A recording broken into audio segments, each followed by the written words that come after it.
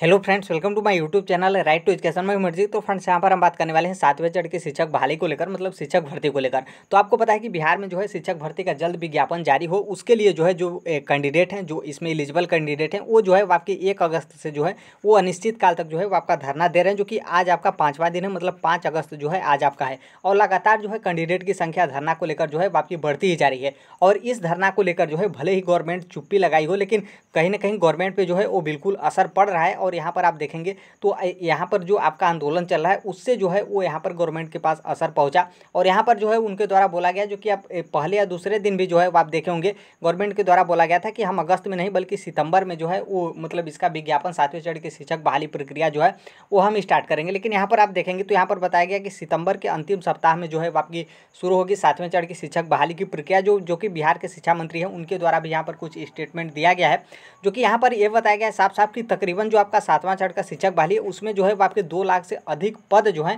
वो आपके रिक्त हैं, जिसके लिए जो है वो आपके सितंबर में यहाँ पर प्रस्तावित है कि शिक्षक बहाली प्रक्रिया जो है वो आपके सितंबर में जो है वो की जाएगी। यहाँ पर जो बिहार के शिक्षा मंत्री उनके द्वारा भी कुछ स्टेटमेंट दिया गया है। बाकी आज का ही न्यूज़पेपर है, शायद आपने देख भी लिया होगा, बाकी नहीं देखे होंगे तो उसी के बारे में हम यहाँ पर जो है वो डिटेल में जो है वो यहाँ पर डिस्कस करेंगे। यहाँ पर देखेंगे तो यहाँ पर जो बताया गया है कि सातवें चरण में जो आपकी शिक्षक बहाली होगा, उसमें जो है वो तकरीबन दो लाख पद के जो हैं वो अनुमान है। लेकिन हम बता दें कि दो लाख से भी अधिक जो है वो आपके बिहार में शिक्षक भर्ती के पद के लिए जो है मतलब शिक्षक भर्ती का पद जो है वो आपका रिक्त है। क्योंकि दो, एक दो दिन पहले जो है वो हमने डिस्कस किया था और यहाँ पर आप देखेंगे कि लोक लोकसभा में जो सत्र चल रहा है, उसमें जो है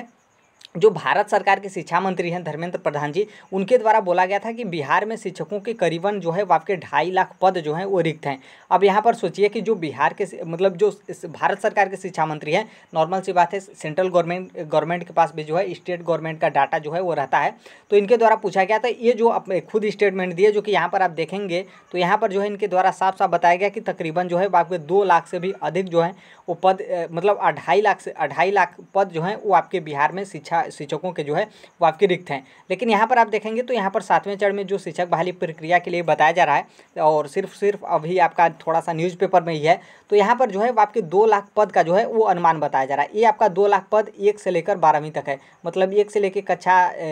एक से लेकर कक्षा आठ तक आपका प्रारंभिक शिक्षा, और कक्षा नौ से लेकर आपका बारह, जो माध्यमिक शिक्षा है। तो यहाँ पर जो है, जो धरना दे रहे हैं जो धरना दे रहे हैं, धरना पर बैठे हैं कैंडिडेट, उनका जो है, प्रारंभिक शिक्षक बहाली को लेकर जो है, वो मांग चल रहा है जो कि लगातार आपका अनिश्चित काल तक धरना जो है वो चल है इसमें आप देखेंगे तो, तो वहीं आपका न्यूज़ जो है वो बताया गया है कि सातवें चरण का शिक्षक बहाली होगा। छठे चरण में जितना पद रिक्त हो गया था उसको यहाँ पर ऐड किया जाएगा और सभी को ऐड करने के बाद जो है आपके शिक्षक बहाली होगा। तो वो सब तो आप बातें वो सब तो जानते हैं किस तरीके से न्यूज़पेपर में छपता है। बाकी थोड़ा सा यहाँ पर जो है जो शिक्षा मंत्री है उनके द्वारा जो स्टेटमेंट दिया गया है वो थोड़ा सा महत्वपूर्ण है। यहाँ पर देखिए क्या है कि सातवें चरण में जो है उस शिक्षक बहाली में कुछ बदलाव भी जो है वो आपको इस बार देखना पड़ेगा क्योंकि इसके पहले जो छठवें चरण का शिक्षक बहाली हुआ था उसमें कुछ नियमावली भी जो है, जो आपकी नियमावली थी, वो पुरानी थी। बाकी सातवें चरण में नियमावली जो है, वो चेंज किया जा रहा है। बाकी इसमें ये भी बताया जा रहा है कि इसमें जो आपकी ऑनलाइन प्रक्रिया है, ये आपका चलेगा। फिर कुछ और नियोजन की प्रक्रिया है, जिसमें जो है, वो आपको बदलाव जो है, वो देखने को मिलेगा। और यहाँ पर साफ़ साफ़ जो शिक्षा मंत्री हैं, उनके द्वारा बोला गया है। यहाँ पर आप देखेंगे तो यहाँ पर ये कहते हैं कि नियोजन की प्रक्रिया में भी जो है, अमूल बदलाव किया जा रहा है। हालाँकि इस संदर्भ में जो है अभी जानकारी साझा करना उचित नहीं होगी। हमारी मंशा छात्र शिक्षा का अनुपात के क्रम में जो है बहाली करने की है ताकि स्कूलों में शिक्षकों की कमी न रहे। अब यहाँ पर आप सोचेंगे कि छात्र शिक्षक अनुपात से स्कूलों में कमी मतलब शिक्षकों की क्यों ना हो? यहाँ पर जो है आपका पहली मतलब इसके इसके पहले बार जो है वो आपका शिक्षक बहाली हुआ था, लेकिन इस बार यहाँ पर कहा जा रहा है कि बदलाव होगा। और फिर बदलाव एक ये भी है कि आपका जो है छात्र शिक्षक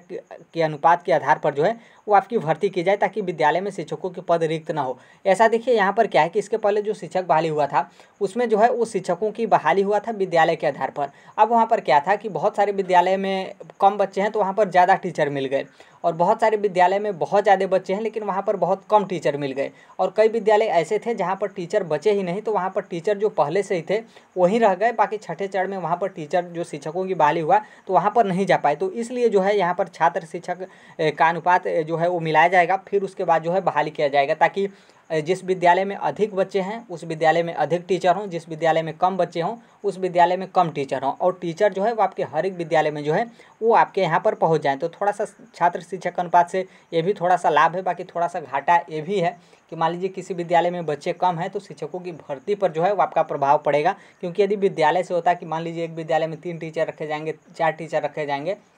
तो वहाँ पर थोड़ा सा कम बच्चे होते थे तो टार, चार, तीन टीचर, चार टीचर जो है वो आपके चले जाते तो तो थोड़ा सा यहाँ पर भी जो है वो आपका होगा, लेकिन यहाँ पर साफ़ साफ़ है कि लाभ जो है वो बच्चों को पहुँचेगा, ताकि जहाँ, जिस विद्यालय में अधिक बच्चे हैं, वहाँ पर टीचर की संख्या ठीक ठाक हो, बाकी जहाँ पर कम है, वहाँ पर जो है वो शिक्षकों की संख्या कम हो, ताकि हर एक चीज़ जो है वो आपका मेनटेन करके चला जा सके। तो यहाँ पर आप देखेंगे, आज का ही न्यूज़पेपर है, यहाँ पर आप देख सकते हैं डेट भी, पाँच अगस्त दो हज़ार बाईस, और ये जो है वो आपका अब ए, मतलब एक तरीके से अपडेट है कि सातवें चढ़ की शिक्षक बहाली को लेकर जो है अभी तक क्या है। हालाँकि देखिए क्या है कि अभी तक ए, जो कि जो कोई भी प्रक्रिया है वो आपका न्यूज़पेपर में ही है लेकिन जो आपका आंदोलन चल रहा है जो अनिश्चित काल तक आंदोलन है जो धरना प्रदर्शन दिया जा रहा है गर्दनीबाग पटना में उसका जो है बिल्कुल गवर्नमेंट के पास प्रभाव पड़ रहा है। गवर्नमेंट पल पल जो है उसका डाटा इकट्ठा कर रही है भले ही जो है वो चुप्पी लगाए रहे ताकि जो कैंडिडेट हैं उनको पता ना चले कि गवर्नमेंट भी जो है वो हमारी डाटा ले रही है या फिर जो कुछ भी करे लेकिन कहीं ना कहीं गवर्नमेंट के पास पता है कि गवर्नमेंट मतलब गवर्नमेंट के मतलब शिक्षक भर्ती को लेकर जो है, वो कैंडिडेट जो है, वो धरना प्रदर्शन वगैरह जो है, वो दे रहे हैं। बाकी अब देखिए, अब क्या है, गवर्नमेंट के ऊपर ही डिसाइड करता है। सितंबर में बोल रहे हैं कि सितंबर में हम इसकी प्रक्रिया स्टार्ट करेंगे तो अब ज़्यादा दिन भी नहीं है, आपका पाँच अगस्त है, बीस पच्चीस दिन लगभग इसी तरीके से आपका बीत जाएगा। अब देखिए, सितंबर में लोग क्या करते हैं क्योंकि कहीं ना कहीं सितंबर में स्टार्टिंग में इनके द्वारा बोला गया था। अब सितंबर के अंतिम सप्ताह तक बोला जा रहा है तो अब देखिए, अब मतलब ओरिजिनल नोटिफिकेशन आने के बाद ही कंफर्म होगा। बाकी न्यूज़पेपर में तो इस तरीके से मतलब थोड़ा सा मीटिंग हुआ या फिर कोई बात हुआ तो इस तरीके से जो है वो आने के बाद आपको न्यूज़पेपर में जो है देखने को मिलता है। बाकी जो कोई भी इसके संबंध में अपडेट होता है, लेकिन यहाँ पर हम शिक्षकों के पद बता दें तो शिक्षकों के पद जो है आपके बिहार में यदि आप देखेंगे तो लगभग तीन लाख से कम पद जो है आपके रिक्त नहीं है। बल्कि अब देखिए, अब गवर्नमेंट कितनी वैकेंसी निकालती है और कब तक निकालती है, आपको वेट ही करना पड़ेगा। बाकी जो कोई भी अपडेट होता है, हम शेयर कर ही देते हैं। अभी तक आप चैनल सब्सक्राइब नहीं किए तो बिल्कुल कर लीजिएगा। मिलते हैं अगले नेक्स्ट वीडियो में। तब तक के लिए thank you bye bye take care all the best thank you for listening God bless you all thank you